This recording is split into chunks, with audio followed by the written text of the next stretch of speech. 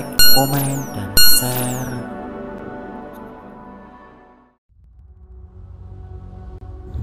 Erupsi Gunung Merapi yang berlangsung Sabtu 11 Maret pukul 12.12 waktu Indonesia Barat itu cukup menggemparkan masyarakat. Peristiwa itu langsung secara tiba-tiba dengan gumpalan awan panas besar yang mengarah ke barat daya, puncak.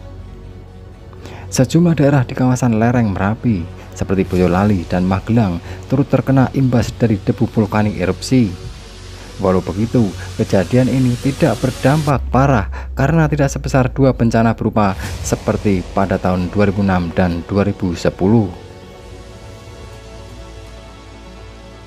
Satu hari usai kejadian, beredar video pesan juru kunci Gunung Merapi almarhum Mbah Marijan yang dibuat tahun 2006 silam.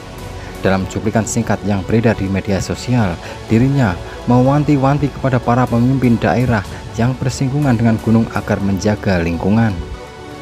Di sana, Mbah Marijan meminta pemimpin daerah di Magelang, Sleman, Klaten, dan Boyolali agar tegas menaruh perhatian terhadap Gunung Merapi sehingga tidak kembali marah. Pesan Mbah Marijan tahun 2006 soal Gunung Merapi Mengutip Instagram at undercover.id Mbah Marijan sempat memberikan wejangannya di tahun 2006 silam ia meyakini bahwa proses penambangan pasir yang berlebihan sampai merusak alam akan menimbulkan dampak bencana. Menurutnya, ia ditugaskan oleh Eyang Merapi atau sosok di gunung tersebut agar memberi pesan kepada manusia agar tidak serakah dan memanfaatkan hasil alam dengan cukup dan tidak merusaknya. Nanti lagi pantangannya Merapi supaya tidak marah itu alat berat-berat yaitu alat-alat berat jangan sampai merusak daerah Jogja. Kata Mbah Marijan yang terekam dalam video viral tersebut. Kemudian Mbah Marijan juga berpesan agar tidak mengambil pasir secara berlebihan berlebih dengan menggunakan alat-alat berat. Menurutnya, penambangan menggunakan ekskavator dan alat lainnya bisa mengundang kemarahan Merapi dan mengundang awan panas. Kalau daerah Klaten saya tidak tahu, Magelang saya tidak tahu. Kalau butuh pasir biar datang sendiri, tetapi jangan mencari pakai alat berat di Jogja. Kata Marijan. Almarhum Mbah Marijan lantas meminta bupati di empat daerah Sleman, Klaten, Boyolali, dan Magelang agar bisa mengusir para penambang yang menggunakan beku atau eskavator. Bupati Sleman, Bupati Klaten, Bupati Magelang, dan Bupati Boyolali. Mereka kalau bisa harus mikir, tidak bisa berpikir demikian agar tetap diberi pasir, tetapi dengan awan panas.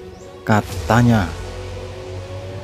Terakhir, Mbah Marijan juga berpesan kepada keempat pemimpin daerah yang dekat dengan Gunung Merapi itu agar bisa mengusir penambang yang menggunakan alat berat Menurut dia, jika pengambilan pasir tetap dilakukan dengan menggunakan alat berat hingga merusak lingkungan, bencana awan panas akan terus terjadi.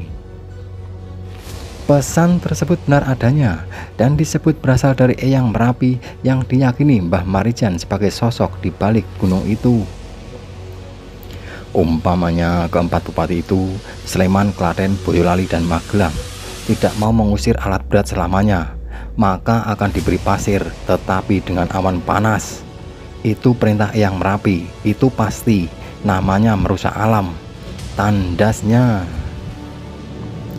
Adapun bencana guguran awan panas masih berlangsung sejak Sabtu 11 Maret siang hingga Minggu 12 Maret pagi dalam dokumentasi yang dibagikan oleh Balai Penyelidikan dan Pengembangan Teknologi Kebencanaan Geologi atau BPBB TKG gumpalan awan panas tampak besar dan turun dari puncak ke arah barat daya Magelang Akibat kejadian ini, wilayah perkotaan Magelang dilanda hujan abu vulkanik bahkan sampai sebagian Temanggung.